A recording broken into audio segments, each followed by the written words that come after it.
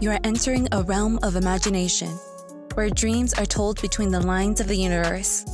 This is a Midnight Tale podcast. I'm your host, Celeste, your guide through this dreamscape.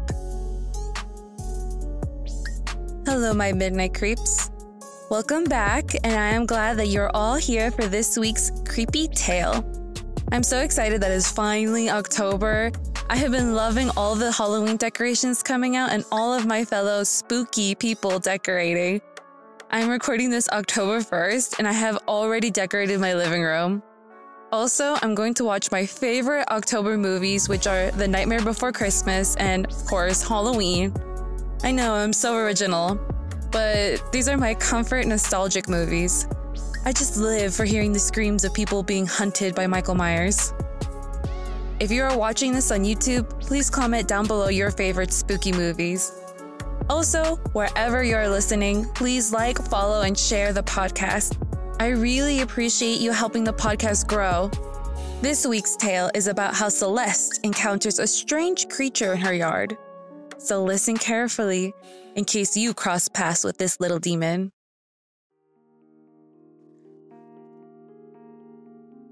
The sun beamed down warmly on my back as I was caring for my tiny garden. I clipped off dead flowers and branches. I added more dirt in spots that had become packed or washed away. I pulled out weeds and made sure my patch of lawn didn't have any invading plants. I watered everything down and gave my plants a nice drink. I collected a few of the flowers and put them in a basket to display in my house, and one rose to give to my mom. I took a look around and admired how nice my little garden looked. I couldn't wait to host my annual summer backyard barbecue with my friends and family. It was this Saturday, which was in two days. I enjoyed hosting the lively get together. Everyone enjoyed lounging in my lush grass. They said it was the softest, greenest grass they had laid in. My dog wasn't even allowed to use the grass as a restroom. He had to use a corner of the front yard that nobody saw. Thankfully, my little Pomeranian Leo was a good boy, and he loved to lay or roll around in the grass. I found myself with my giant sun hat and spritzed water onto my face. My gardening dress was a dark green that had speckled light blue birds and flowers. Under it were old black leggings. I wore a large stained denim apron that matched my gloves. Leo came over and rolled over. I gave him a few belly rubs or I scooped him up and showered him with kisses. When I set him down, he zoomed around the yard, a little fluffy ball of tan and white. I got up to finish my last task. I refilled my hummingbird feeders, which the little birds waited patiently in the trees. I cleaned my bird baths and filled them with new water so the bubbler didn't get algae slime. I looked around and sighed with relief. I had finally finished. I took off my apron and gloves, then laid in the grass. I watched the large clouds pass by. Butterflies fluttered around the flowers, and a couple bees buzzed past. I took off my shoes and dug my toes into the grass. It felt squishy and soft, better than any carpet. I couldn't help but feel a tingle shoot up my feet and legs as I ran my toes through the lush grass. It was cool and still a little damp, which felt nice in the heat of the sun. Leo ran by and I jumped up to chase him. I ran around with him for a few minutes before he got tired and went to lay under the shade of his outdoor dog bed. I sat down too on my patio under the umbrella. I heard my friend's car come into the garage. Priscilla was my roommate and lived in one of the bedrooms. I had bought the house with my parents' help a few years ago during college, and she had happily moved in to get her own private place. And she has happily stayed since. We were looking for a third roommate again to lower our payments. She came around outside and we chatted about the upcoming barbecue. She had a few plans about how she wanted to decorate and buy some tablecloths. Also, we made sure to mark down what foods or things our friends and family would bring over to the party. Mostly, we talked about the playlist we were making and the songs we were going to play during the party. As we talked, Priscilla admired the flowers in my basket and picked up a flower. She twirled it in her fingers a little before she completely froze. She stared intensely at the flower before she screamed and threw it. I asked her, What's wrong? She pointed at the flower and said, There's a disgusting bug on it. I went over and reached for the flower. I realized that there were some tiny holes in the leaves and flowery petals that I hadn't noticed before. I looked on the bottom of a leaf, and there for sure was a green, chunky caterpillar munching on the leaves. I picked it off and put it in my hand. I looked through the other flowers where Priscilla said, I can't believe you can just touch them like that. They're so gross and nasty. It gives me the creeps. She ran her hands off on her shirt and she shivered with disgust. I said, It's not so bad. They're not gonna bite me or anything. They're just little caterpillars. Although they're hella annoying because they're eating up my flowers again. She said, I love your garden and I love looking at it, but I could never do this. It would all be fake flowers out here, to be honest. I just can't stand those bugs. I can barely stand the butterflies. I definitely wouldn't want them landing on me anyway. I guess they're pretty at least. I laughed a little as I knew Priscilla hated bugs. I wasn't so bothered with them as it came with the territory of gardening, although I still got a little freaked out by some of the creepy ones that I found occasionally. I looked up and said, Don't forget our annual pesticide treatment from the company. She said, Oh, yeah, like I would forget. It's going to be tomorrow, so before the party, we'll have it bug free for everyone. She said this as she was hiding halfway between the sliding glass door. She stared at me picking off the rest of the caterpillars that had been hiding in the flowers and leaves. It was amazing how those little things could hide so well, and they blended right in as they were the same color as the leaves. I was able to pick off about 10 of them before I couldn't find any more, or they were just hiding extra good. They wiggled and squirmed in my hand, their chunky fat bodies trying to escape, but I definitely wasn't going to let them back onto my flowers. I went over and picked up my shoes and put them back on. I threw the caterpillars onto the floor and then immediately stomped on them on the patio. Priscilla squealed with disgust as she immediately went inside and closed the door. I was slightly disgusted at the blue greenish wet stains left by the caterpillars, and a little upset about how much they had eaten of my flowers before I had even noticed. Those caterpillars were actually the larvae for some small white moths that came around at night and laid their eggs, which is why I never could catch them or kill them. Also, I had been neglecting to spray my plants with my homemade pesticide I quickly scraped my shoes into the grass to clean them a little. I went to the side of my house to my little gardening chest where I had stored the pesticide. I brought it out and shook it so all of the different herbs, spices, and chemicals that I had put in it would mix back together. Leo came up to me and started sniffing the grass of bag pesticides that I used to keep the grass maintained. I quickly scooped him up and put him back inside to be safe from the chemicals. I put back on my apron and gloves and then went to work. I went around the lawn and sprinkled the pesticides into the grass, and then watered it down to have it seep into the soil. I then went and started spraying all of my plants around the yard, generally coating them in the spray to keep away the bugs. I swatted a few bees away and I managed to kill a wasp with the fly swatter that I always kept nearby. I hated the crunch that their bodies made when they got squished, but I was always satisfied knowing that there was one less nasty bug. I reached towards the end of my garden when I looked into one of my rose bushes. I saw that there was a red stick in the center of it, which was a little odd because usually the branches didn't dry to a red color when they were dead. I assumed maybe a bird had dropped the stick from another plant. I went to reach for it to fish it out. I carefully made my way through the thorns of the rose bush and grabbed the stick to pull it out. Suddenly, it started wiggling and moving.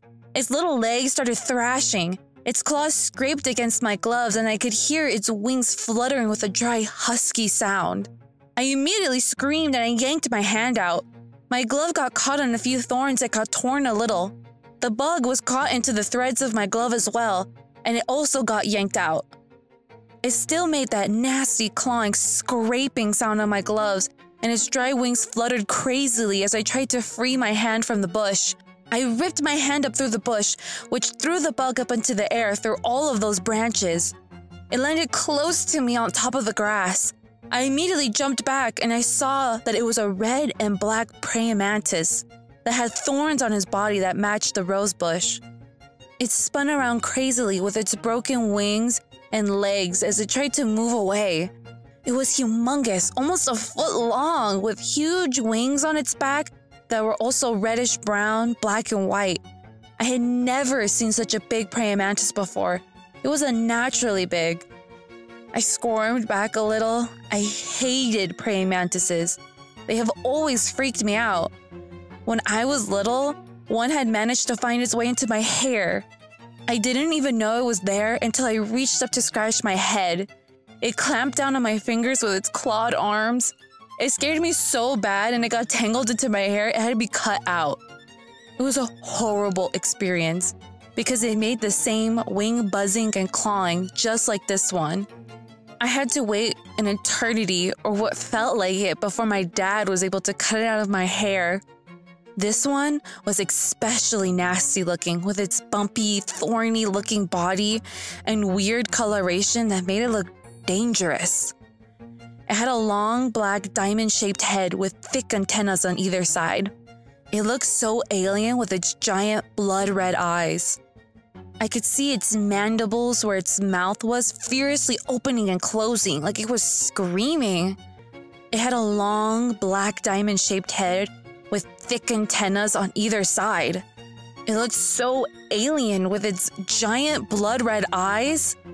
I could see its mandible mouth parts, it lifted its spiky arms up and flashed these huge underwings that had white with a black mark in the middle.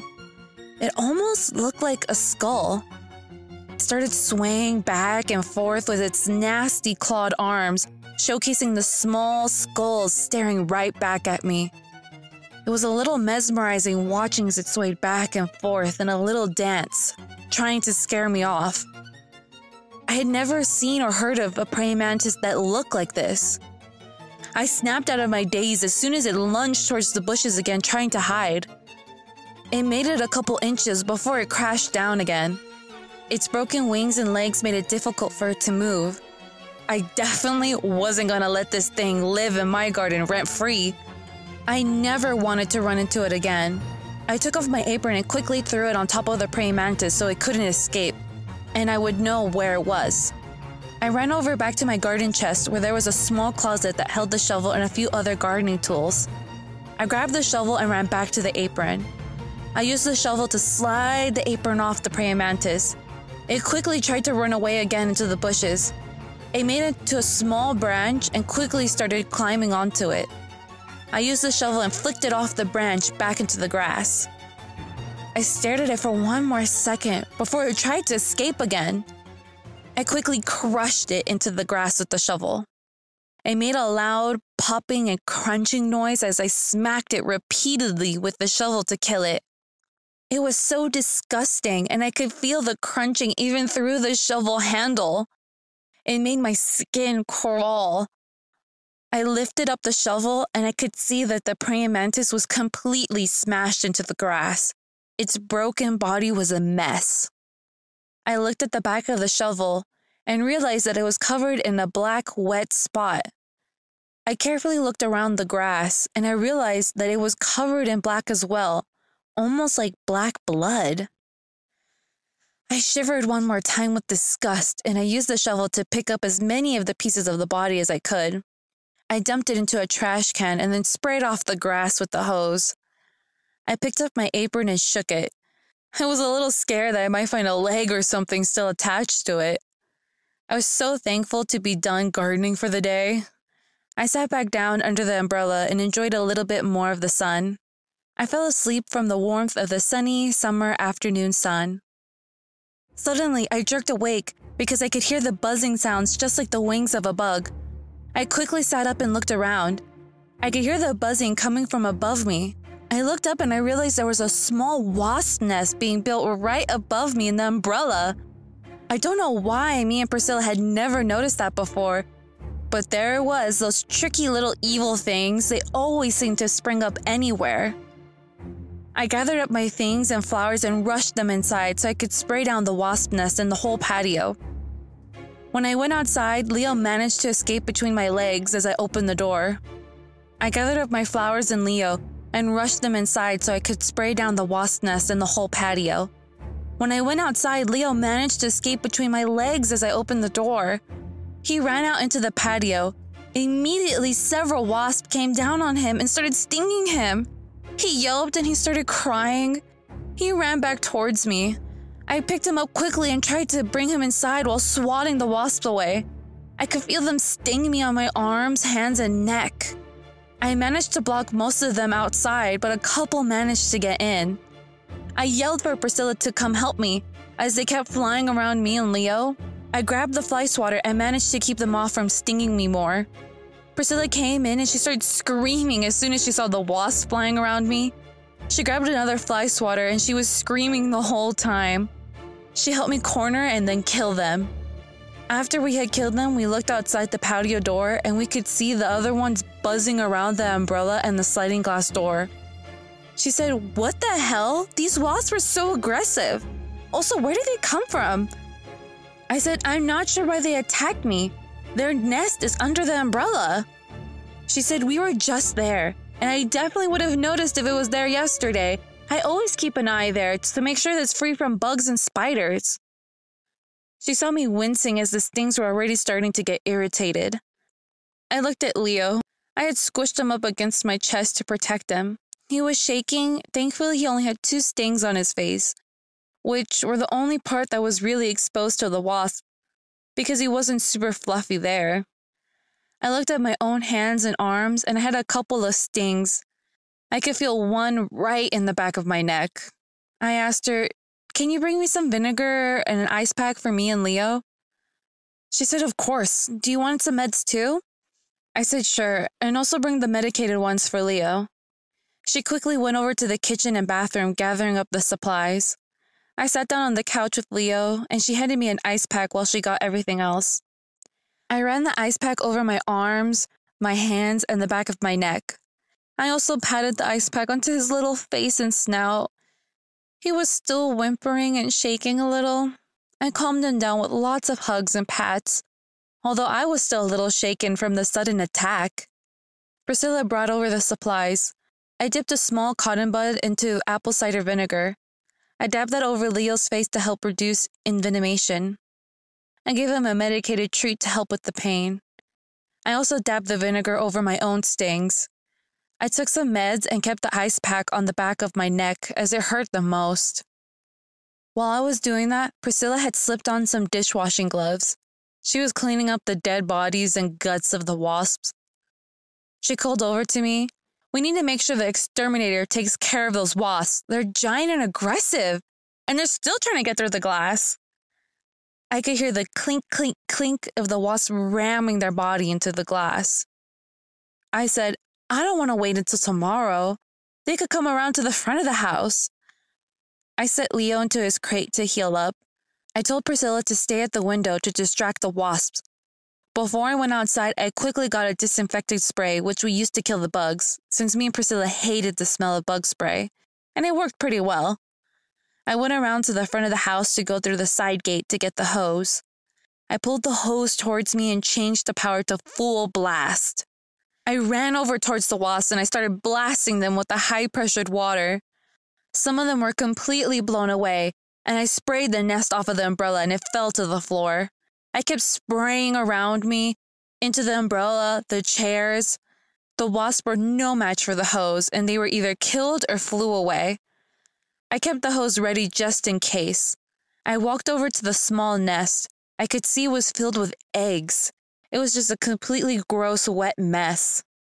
I didn't want to, but I stepped on it, and I felt it squished down into a gooey mess.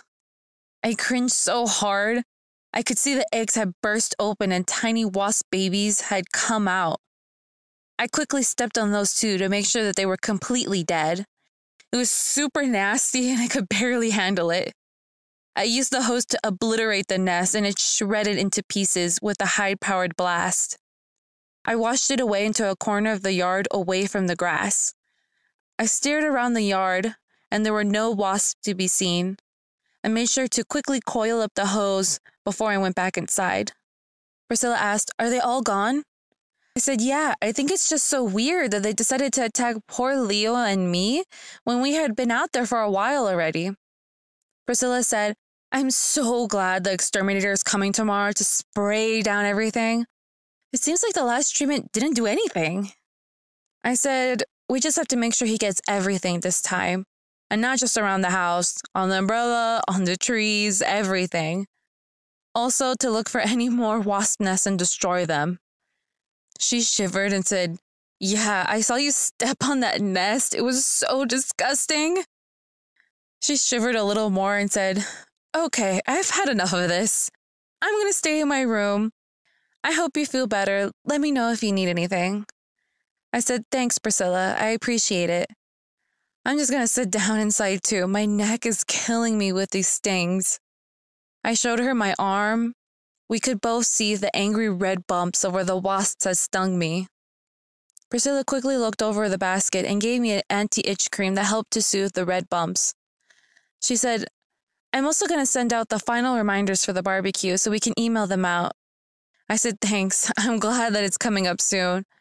It's definitely going to take my mind off of this incident. She rubbed my arm and said, Okay, I'll leave you here so that way you can rest up. I took Leo out of his crate and he was a little drowsy from the medication the wasp stings. We both lounged on the couch together while I watched TV. After a couple hours, I went over to the kitchen to get a bite to eat. I went through the cabinets and the fridge, but I didn't really find anything I wanted. I looked at the table, which had some bananas and apples. I reached for an apple, but as I was putting it up to my mouth, I realized there were ants crawling all over it. I turned it over and I realized that it was rotten on one side. I quickly threw down the apple onto the table. I swatted and smacked the ants to kill them. I looked at the table and I realized that there was a line of ants trailing from the apples all the way down out the door. I looked at the apples and realized that half of them were bad, which was weird because we had just gotten them yesterday. I quickly tossed the bad apples into a bag. I took some wipes and cleaned up the ants. I followed their trail all the way out the door. I found their ant hill on the side of the house as they were streaming in and out of it. I was super frustrated by this point because of all these freaking bugs that seemed to be everywhere today. I stomped all over the ants, disrupting their path. I wiped them down with the same wipe and caught them up in the fibers. I went inside and boiled some water. As I waited for it to heat up, I cleaned up the table and the floor with some bleach. I even grabbed one of our cans of bug spray and sprayed the outside patio steps and ground where the ants had been. They were scattering like crazy, going into a frenzy as I tried to avoid the spray. I took a spade and opened up the ant hill, making the opening a little bit bigger. Tons of ants started streaming out, but they all stayed towards the opening, trying to close it back up with dirt. I went back inside and I grabbed the pot of boiling water. I carefully brought it outside and I poured it straight into the ant hill. All of the ants on top instantly died. I carefully and slowly let it drip in to get into all the cracks and crevices as far down as the water could get into the ant nest. When I was done, there was absolutely no ants or activity. I poured some of my homemade pesticide into it to keep them from coming back up. Then I patted dirt on top of it to cover up the hole. I went back inside and plopped back onto the couch after I put the pot away. Leo jumped into my lap and I was exhausted from gardening and the whole mess with all these bugs. I decided to go to sleep early as I still had to go to work the next day. I got myself ready for the night, preparing my lunch, cleaning up, and making myself some tea. While I prepared myself for the night, the sun went lower and lower into the sky, and I could see a couple of mosquitoes and moths starting to come out already. As I saw them fluttering around, I realized that they were probably making their way towards my flowers to lay even more eggs that would eventually get eaten up by their freaking little worms. I took a step outside and I could see that I was right. There were a dozen moths landing on my flower bushes. I quickly went over to my garden chest and pulled out another one of my homemade pesticides. I jumped up and quickly started spraying the moss with the pesticide, trying to get each one of them. A couple got away, but I managed to douse the other ones with the pesticide. I used the small spade to shovel them up and quickly squished them with a rock, then tossed their bodies back into the dirt. I was very satisfied that I actually was able to catch them that day. I had a little smile on my face as I tossed the last one back into the dirt. When I looked at the spade and realized that it turned red, Usually, those little white moss guts were gray or blue, never red. I realized that the yard had completely turned silent. There were no birds singing or crickets chirping. It was oddly still and silent. My mind flashed back to the red and black praying mantis I had seen. I shivered, thinking that another one could be hiding in the bushes. I shook my head to get it out of my thoughts. I slapped my arms, feeling the mosquitoes already attacking my skin. I walked back to the chest and I could feel little spider webs already catching onto my skin, which was weird because they didn't usually build their webs until really late at night, which is why I never went outside at that time. Especially since I could always find a roach or two running around on the patio. I went back through the sliding glass doors and a spider web caught right in my face. I tried to flick it away, but it felt like it was just sticking on. Finally, after wildly wiping my face with my hands, I was able to get it off my face by wiping it onto my dress. I was so done at this point. I went straight to my room. I told Priscilla on my way good night and I would see her in the morning. I changed into my pajamas. I put Leo into his little dog bed by mine and I finally curled up to sleep. My night was plagued with nightmares. In my dream, I was in my house, and large abnormal spiderwebs stretched across the walls. The spiders watched me from the corners of the room, and they were gigantic. They looked like tarantulas with their long, hairy legs and giant black, beady eyes that sat on top of their head. They were gray with black stripes all over their body. I tried to make my way through the house without touching any of the spider webs. But each time I accidentally touched one, the spider would run down from the web from the corner of the room. They would bite me with their long fangs. I would fling them off into a wall, but they would immediately get back up again. I raced around the corner of the living room full of bites up and down my arms and legs. In the living room, I saw Priscilla struggling and holding Leo. They both cried as they tried to thrash around and escape from the spider's web. Blood was running down Priscilla's arms and legs as the spiders continued biting her. I tried to go over to help, but suddenly, these car sized armored beetles with huge jaws locked onto my legs. The spikes that they had on their jaws pierced into my legs and kept them in place. I cried out in pain, but I struggled to get free. A pair of centipedes crawled onto my arms, pinning them to my sides. I could feel their legs prick into my skin as their legs creeped up. They were mostly silent except for the slight rustle of their legs and the slight creaking of their jaws opening and closing. I tried to shake them off, but they just tightened their grip on my skin. They finally reached up to my neck and clamped their jaws around either side. Their antennas were touching and caressing my face. I could feel their mouths slightly pinching and gnawing at my flesh. I was completely immobilized. Suddenly, I heard a loud, dry, brittle buzzing sound, along with a creaking and snapping. The other insects grew excited and also buzzed their wings or vibrated their legs, which shook me to my core, as the sound was deafening as the massive swarm of bugs that appeared and carpeted the floor. Something was coming from outside into the house. A huge dark shadow appeared at the sliding glass doors. They exploded out, sending glass everywhere. Me and Priscilla both screamed while Leo started barking and growling. I woke up to the sound of Leo barking and growling. I flicked on the light next to my bed. Before I turned over to look at Leo, I saw my arms were covered in bites. There were so many bites I couldn't even count.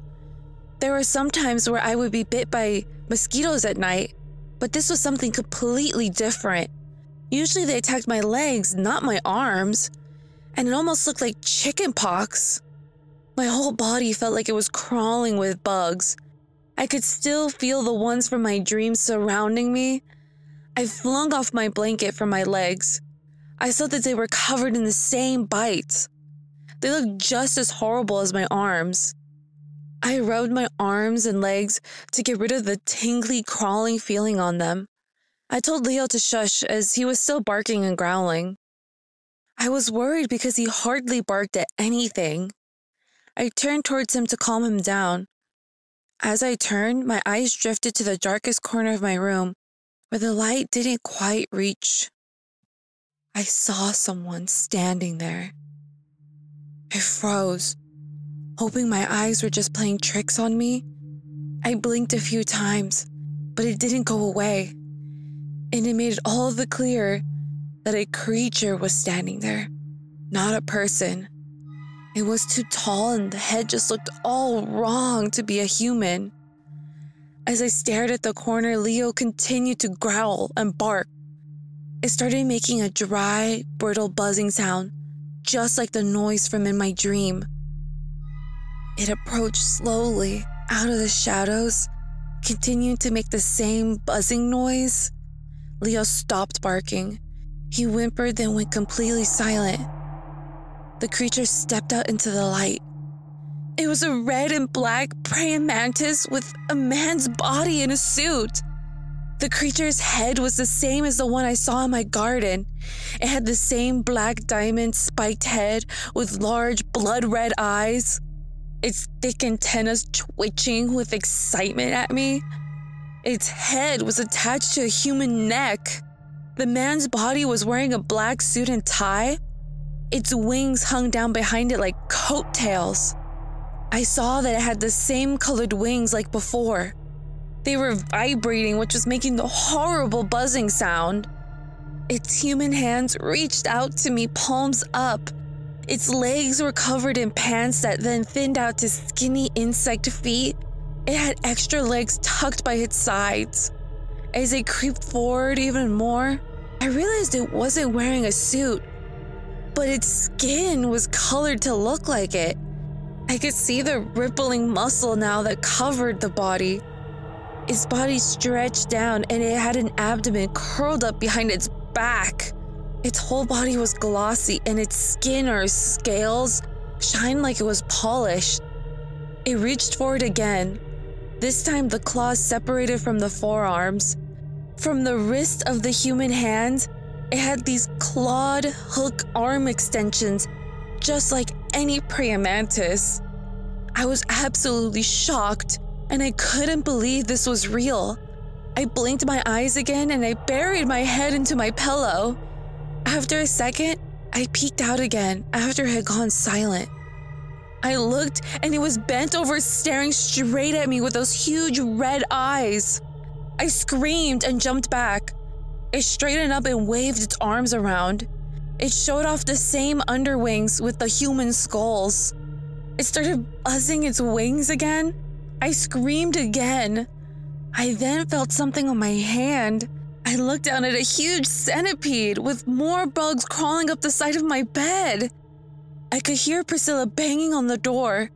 I kept screaming as I flung the centipede off and jumped back off the bed. In that second that I turned my back slightly to the creature, it grabbed me with its human hands and wrapped its arms around me. The body had small spikes on it. The spikes felt just like the thorns on a rose bush. I started thrashing, trying to get free, but the more I tried, the tighter it held onto me. Its head was resting on my shoulder. Its mouth was running up and down my neck. The buzzing from the wings was so loud. I felt something wet and slimy climbing up my pant leg. The abdomen was hot and against my legs. I could hear Priscilla slamming the door, yelling my name. Leo was jumping up at it and barking crazy. The creature flicked one of its legs out and smacked Leo away. Leo crashed into a wall and didn't move. I screamed for Leo. I yanked my arms out and reached up, punching straight into its eyes. Its left eyes made a cracking noise. It reeled back in pain, but I continued punching its left eye until it burst open. When it finally popped open, the buzzing grew even louder, almost like it was excited. I could feel that slimy thing reaching up even further my pant leg. But then Priscilla burst open the door. I could see that she held in her hands a tire iron. She screamed and dropped it as soon as she saw the creature. Her eyes rolled back into their head. She fainted, and the creature made a small screeching noise, then let go of me.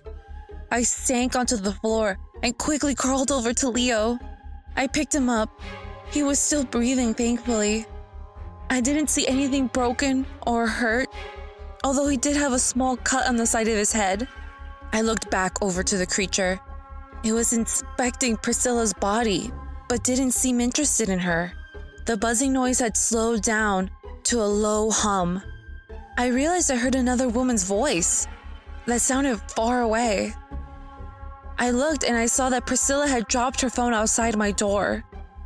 I couldn't quite make out what was being said, but I could only assume it was 911. The creature started walking out my door when the lights of the police car glowed brightly through the windows. The creature crouched down in a defensive position, then suddenly shrunk to a miniature size, back to the size I had seen it when it was in my garden. I could hear the police pounding on the door to be let in. I went over to Priscilla. She looked fine overall, but she had probably hit her head on the way down. I picked up the phone. I said, Hello? The operator said, Is the intruder gone? Are you safe to talk right now? I looked around, but the creature had disappeared. I said, Yes.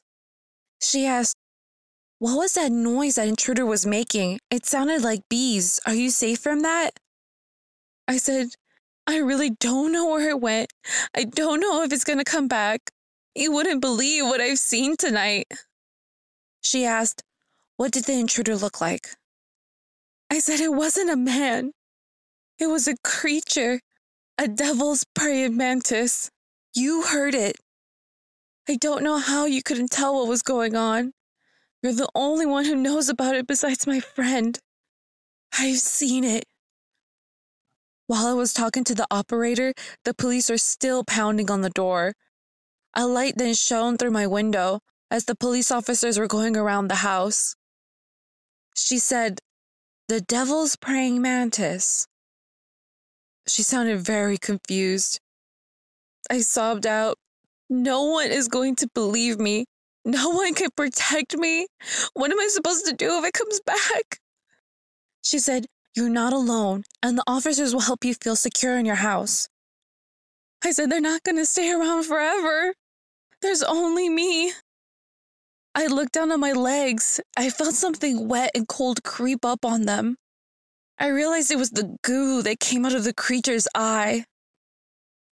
I reached out to the tire iron and gripped it hard. I said with new determination, It's not impossible to defeat. I've already punched open its eye. Just like any bug, it can be squashed. She started to ask me another question, but I clicked the phone off. Then I heard the officers burst open through the door, and they came inside. They finally got to my room. They searched the whole house for the intruder, but obviously they didn't find anything. When they asked Priscilla what had happened, she said that she had heard me screaming in my room, but she didn't remember anything after that because she had hit her head. When they asked me what happened, I said that I was having a night terror and that I had been sleepwalking, acting out what was happening in my nightmare.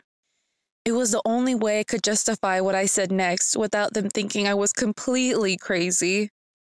I told them the whole story about what happened, but to them, it was just a dream, something I could get help for my sick mind, but to me, I knew it was all too real.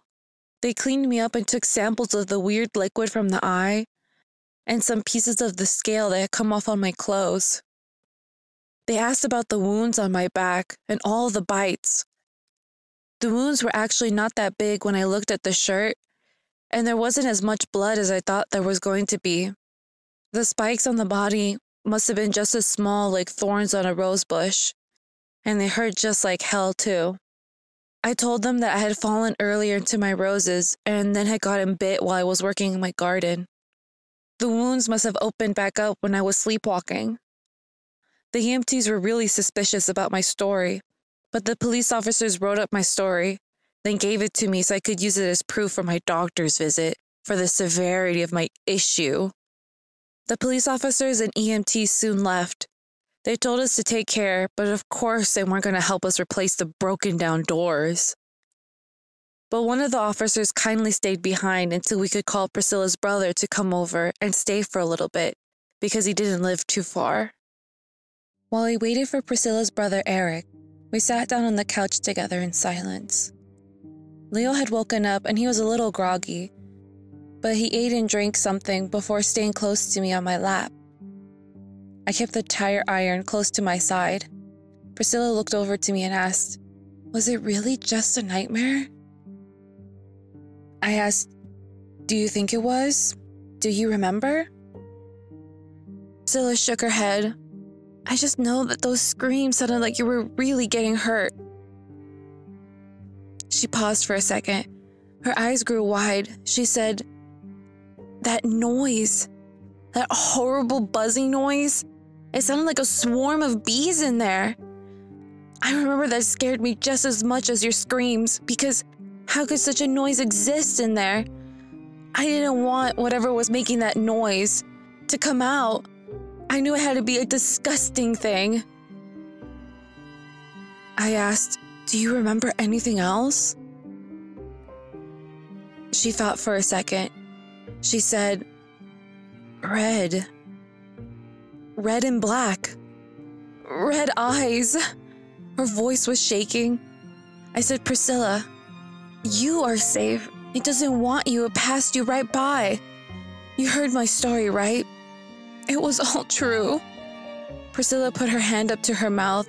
She said, It can't be. It can't be real. But she gripped my hand tightly back while she shook her head. She said, If it wants you, it's gonna have to get through me. I'm not gonna let anything happen to you. We both hugged on the couch. I started coming up with a plan. Priscilla's brother, Eric, came over and he started working on the door, trying to fix it while we went over some ideas in the kitchen. We were not going to separate until we knew for sure this thing was dead.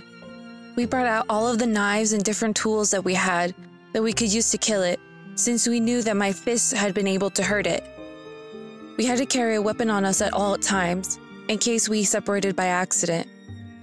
We let out the rest of the weapons around the house, just in case. Eric made a makeshift lock to get the door to close, and at least stay closed. The sun was rising at this point. We both called out from work. We had Eric stay. Thankfully, he didn't have to work that day. Also, he didn't ask too many questions. He was just a supportive presence. We asked him to stay in the living room, and all three of us took a much needed sleep on the couch together. However, my sleep was still plagued with nightmares. More bugs tried to swarm over me, which I had to fight, stomping countless of them. The devil praying mantis was circling around me, waiting for its opportunity to strike. I woke up, feeling just as tired as I did when I fell asleep, but thankfully the sun had fully come out. I went over to the kitchen, and there was a weird smell. I realized I hadn't thrown out the bag of bad apples from yesterday. I picked it up and realized that there was something else in it, and it felt a little heavier. I took a quick peek inside. I gagged a little. I saw the apples were completely covered in maggots. I could hardly see the apples underneath. I took a giant knife with me as I threw out the apples in the big bin outside. While I was out there, tons of roaches were crowded around the trash can. They scurried over my feet when I tried to throw it away. I tried to fling them off my feet and stomp on them. There were so many. They were fast and it was so difficult. The rest of the day, me and Priscilla were killing or just trying to avoid all of the bugs. It seemed that they were invading the house. There were large spiders that would descend from the ceiling at random moments, water beetles that would jump out of the drain, June bugs that would fly into the windows and try to get into our ears. I couldn't go back into my room either. I cringed at the thought of the centipede actually being in there. The whole day, I kept seeing shadows in the corner of my eyes. I would quickly look and would just miss seeing it. It was a blur of shadows, but I felt continuously watched. Also, we found lots of other weird exotic insects, like giraffe neck beetles that tried to gnaw on our skin, assassin bugs with their long needle like mouths, larva worms that appeared out of nowhere in our food. Eric was really creeped out by the amount of bugs and blamed it on us, even though he could clearly see that that house was kept up well. I could only imagine that this was the devil mantis's work. It was exhausting having to deal with all the bugs that suddenly popped up.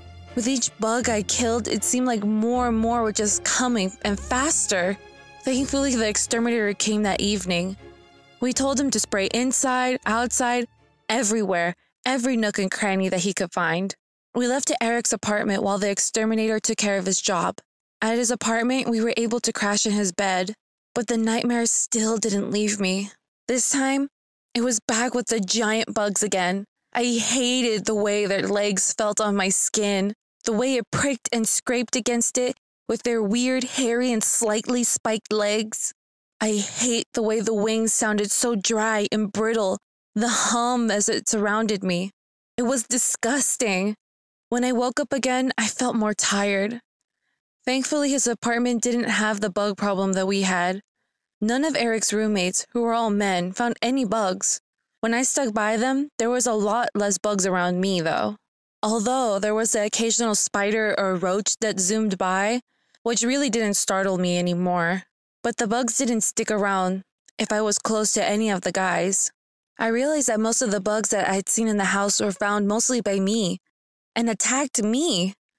Priscilla found a few, but we were in the same room together, and her brother had found none by himself. I was clearly the target for this siege, to tire me out, to have me weakened. The longer we held out waiting for it to come to us, the more delirious I would become. I realized then that I would have to set a trap for it.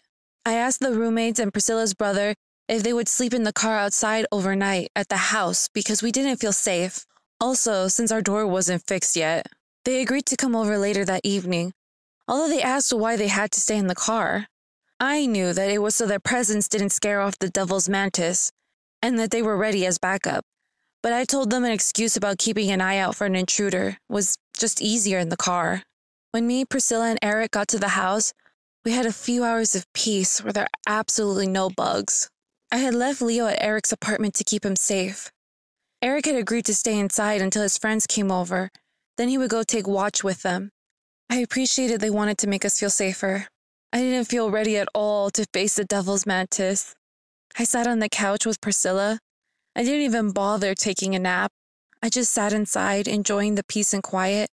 My thoughts wandered over about how getting a gun would help so much in this moment, but it would have taken too long to get one, and no one I knew had one. I cursed myself, but then I stopped. I cursed the creature instead for making me feel so helpless and desperate that I felt I needed heavy firepower to even feel like I would survive. The sun dipped lower into the sky. A giant fly started buzzing around me and my head. It clinked against the glass frames and TV. Then it tried crawling on my face. It landed on my lips and by my eyes. Its disgusting little feet brushing and tickling my face. I tried to shoo it away, but it wouldn't leave me alone. I got up, but it followed me. I grabbed a fly swatter and aggressively started swinging it around. Priscilla used her arms to try to keep it into the living room. I chased and chased after it, slamming the swatter down hard, trying to kill it. Finally, it landed on the sliding glass doors. With a satisfying smack, I killed it. A small smile escaped out of me. But as my eyes focused and looked through the glass, I saw it. My blood ran cold and my heart skipped a beat. The devil's mantis stared right back at me. Its body was illuminated from behind by the sun, making it look like the darkest shadow. It was in its miniature form, but I still felt its chaotic energy radiating out. Then it quickly scurried away. I yelled to Priscilla that I saw it and to get Eric. He had taken a phone call. Suddenly, we heard Eric's screams from the front of the house. We both ran outside and saw that he was covered in fire ants and centipedes. He was trying desperately to get them off as they swarmed all over his body. Immediately, he bolted down the street, flailing his arms. Priscilla ran after him, taking off her large cardigan to try to help him rub the ants off. I quickly ran back into the living room to grab my phone. I immediately started dialing for Eric's roommates to come over and help. I had barely pushed two numbers when I glanced up to go out the front door. I froze. Standing in the doorway was the devil's mantis. It was in its true form. It was staring right at me with its one good eye. I dropped my phone in shock. It had ruined all my plans and had me alone. It opened its wings up slowly, then opened up its clawed arms. It stretched itself out, showing off its body, trying to intimidate me or just getting itself ready for its attack. My eyes darted around the living room. I saw that the large butcher knife was still on the coffee table. A baseball bat was on the couch, and the tire iron was on the floor by the couch. The knife was the closest to me. I slowly stepped closer to the knife. This set the creature's wings off. That dry, brittle buzzing sound filled the air. It took a step closer. Every step that I took, it moved forward too. But its legs were so long that it brought itself within a few feet of me. My hand was so close to the knife. I prepared myself and then lunged for the knife. It flew behind me and tried to grab my back. I spun around, slashing at its head. I jumped back. Then I tried to make a run for the front door. I touched the door jamb, but it grabbed my shoulders. I reached behind and wildly started stabbing it, but the knife had a hard time piercing through the skin. It just kind of bounced off. It immediately pulled me close to its chest, my back being stabbed again by those spikes on its body. I struggled, but its arms were so strong, and this time it used its extra legs at the sides to pin me down. Its abdomen lowered again. The wet, slimy probe wrapped up my leg. It was gray and fleshy, dripping slime. It was reaching up again. Suddenly, what it was doing became clear. I didn't want to admit it to myself before because of how disturbing it was. It was trying to impregnate me. That's why I wasn't dead. I screamed in terror and kicked my legs furiously. My large, oversized shirt slipped off. I was down to my tank top and pants. It lost its grip for a second. I stabbed down at the gray probe. This pierced into my own leg, but I didn't care. I grabbed the probe and sliced the top of it off, which cut into my pants. It shrieked in pain and took a step back. I dropped the knife, then jumped to grab the tire iron. I ran outside the door. I could tell that it was close behind me. By this point, it was dark outside. I could hear the buzzing growing louder. Suddenly, I was lifted up into the air. I screamed as the devil mantis flew me up into the air. It took me far up, almost to the top of the trees. The breeze on my face was cool and whipped my hair around fast. I was terrified of heights, but I wanted to get away even more. I jabbed that tire iron into the shoulder of the mantis and pulled back hard. I heard a pop. It shuddered in pain and loosened its grip. I was almost dropped about 50 feet. Suddenly, it lowered down closer to the ground, but was still flying away from my house. I took the sharp end of the tire iron and pointed it towards myself. I ducked my head as I lifted my arms up and over and plunged it straight into its head. It freaked out but kept a death grip on my arm. We crashed into the dirt. I tried to crawl away, but it pulled me closer again. Its useless probe flailed around wildly, its slime being thrown everywhere. I reached up and yanked the tire iron out. I could hear Priscilla screaming my name in the distance. I whacked the iron repeatedly into the wrist to break it off the arm. Even when it popped off, the hand kept its grip on me. I smashed the iron into the other eye, breaking it open like an egg. I screamed as I slammed the pointed edge straight into its chest. It freaked out. It lunged towards me, but I easily moved out of the way.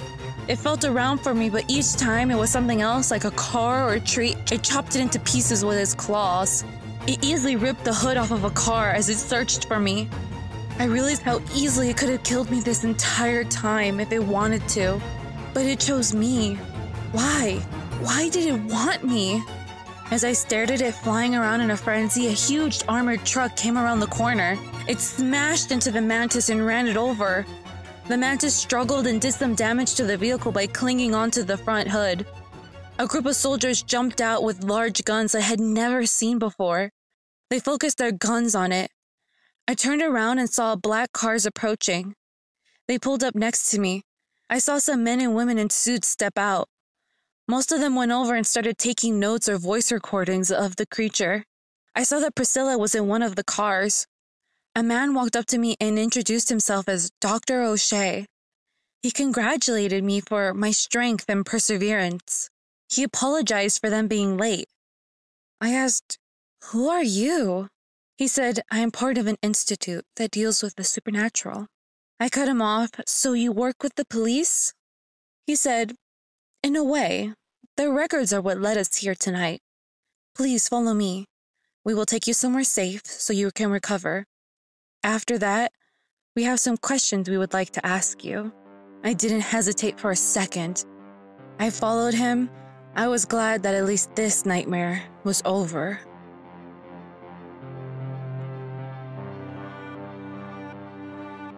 Okay, everyone, we all survived that story. I really was cringing throughout this whole story. Personally, I hate grasshoppers. Praying mantises are a close second, but I don't know why, but grasshoppers to me are just so much creepier and like more disgusting to me. I think it's because their back legs just look so gross, and at least the praying mantis has the decency of hiding that. You know what I mean? Hiding its nastiness. If you're on YouTube, comment down below and tell me what insects that you hate or what phobia you have if you really like insects, which, you know, good for you because there's a billion of them out there. So we gotta watch our backs. Anyway, thank you everybody for listening to Midnight Tale podcast. Please like, subscribe, and share. Your support really helps to grow this podcast. Please let your friends and family know about us. I really appreciate all the support in helping us grow.